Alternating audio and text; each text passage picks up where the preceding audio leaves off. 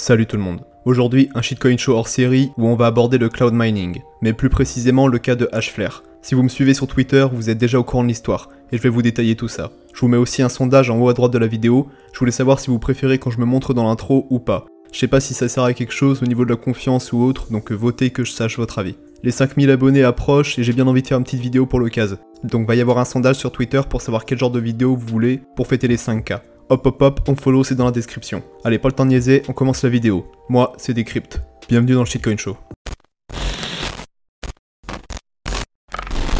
Bon, le cloud mining, c'est quoi? C'est comme du mining, sauf que tu te fais enculer en même temps. Tu vas payer une société pour miner à ta place, et ils te reverseront un pourcentage de leur profit. Du moins, quand ils sont en profit, sinon t'as R. Imagine, t'as 3000 euros, avec ça t'as moyen d'acheter du bon matos de minage. Des Antminer, des cartes graphiques, du lourd. Mais le truc, c'est que t'es plus du genre à mater ta copine se faire prendre par d'autres mecs. Donc tu vas pas utiliser cet argent pour acheter du matériel, mais tu vas le donner à une société dont tu n'as aucune info, ils vont faire le boulot à ta place, et si jamais ils le veulent, t'auras droit à un peu d'argent, et avec de la chance, tu auras fait un plus-value de 50 euros d'ici 3 ans. Après, t'auras toujours des puceaux d'ici pour penser que c'est plus rentable que de miner soi-même. Rien n'est impossible avec de la volonté déjà les amis, et c'est pas avec votre corps de lâche que vous allez faire quoi que ce soit. N'importe quel homme un minimum entraîné peut miner du Bitcoin par lui-même. C'est pas forcément plus compliqué, ça demande juste de la technique. Maintenant, on va s'intéresser au cas d'une société de cloud mining qui est Hashflare. Les gens derrière Hashflare sont les mêmes derrière l'ICO Polybius et la société Hashcoins. Ceux qui n'étaient pas encore dans le crypto game il y a quelques années ne connaissent sûrement pas Hashcoins. Pour résumer, ils avaient lancé un miner de Bitcoin révolutionnaire qui niquait toute la concu, le Uranus Miner. Avec ses 6 H, ça le plaçait devant tous ses concurrents en termes de puissance. Ils vendaient cette merde 3300 dollars sur leur site. Sauf qu'au bout de quelques mois après le lancement, les gens ont commencé à se demander où était leur machine qu'ils avaient achetée. Le site ne donnait plus aucun signe de vie et après avoir reporté El Famoso date d'expédition à plusieurs reprises, ils ont disparu avec l'argent. Ils avaient même payé des bots qui faisaient croire que eux avaient reçu la machine, mais toujours avec zéro preuve, aucune photo, rien. Ces machines n'ont jamais existé. Par contre, l'argent qu'ils se sont fait lui est bien réel. Ça, ce sont les fils de pute derrière Hashcoins, qui sont pour la plupart toujours chez Hashflare. Tant que le Ponzi fonctionne, autant continuer. Hein.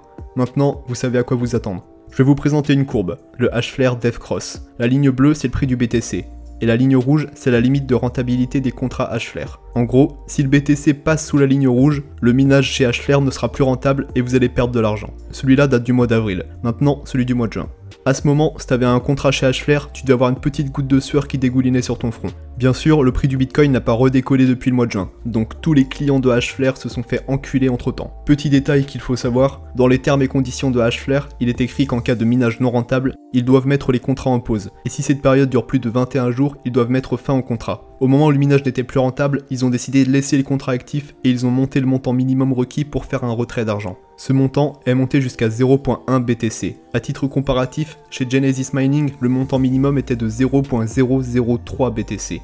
En ne mettant pas en pause les contrats, le contrat ne peut pas se terminer car le seul moyen de l'arrêter est soit d'arriver à la date de fin, soit d'être en pause pendant 21 jours. De plus, une très grande partie des clients n'avaient pas les 0.1 BTC requis pour récupérer leur argent. Sachant que leur contrat n'était plus rentable, c'était devenu impossible pour eux d'atteindre ces 0.1 BTC. Sur Twitter, les gens se plaignaient d'avoir perdu de l'argent à cause de Hashflare. On pouvait voir des gens perdre des sommes s'approchant des 5000 dollars. La raison qui a poussé Hashflare à faire ça est assez floue, mais les gens s'accordent à dire qu'on avait affaire à une pseudo-pyramide de Ponzi. En gros, l'argent des moins riches qui était bloqué servait à payer les plus riches qui retiraient leur argent, le temps que le minage redevienne rentable. Et effectivement, une fois le minage redevenu rentable, les limites de retrait ont été abaissées à 0.03, ce qui est toujours 10 fois plus élevé que Genesis Mining, rappelons-le. C'est pas moi qui le dis, hein, c'est vérifiable. Il n'y a aucune preuve qu'on a eu affaire à une pyramide de Ponzi, mais c'est l'explication la plus probable.